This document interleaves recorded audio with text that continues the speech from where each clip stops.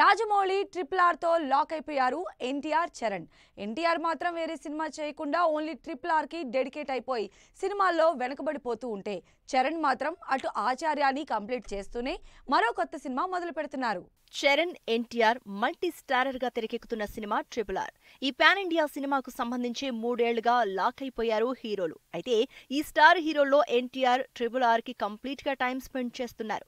ఇప్పటి వరకు వేరే సినిమాలు ఏవి స్టార్ట్ చేయకుండా ట్రిపుల్ ఆర్ తోనే ట్రావెల్ అవుతూ కెరియర్లో సినిమాల విషయంలో కాస్త వెనకబడ్డారు ఎన్టీఆర్. ఎన్టీఆర్ ట్రిపుల్ ఆర్కే కమిట్ అయి ఉంటే చరణ్ మాత్రం సైమల్టేనియస్గా సినిమాలు స్టార్ట్ చేసేశారు. ట్రిపుల్ ఆర్ మేజర్ షూట్ అవగానే చిరంజీవితో ఆచార్య సినిమా మొదలు పెట్టేశారు. ఆచార్య క్లైమాక్స్కి రావడంతోనే మరో సినిమా సెట్స్ మీదకు తీసుకెళ్తున్నారు Ram Charan.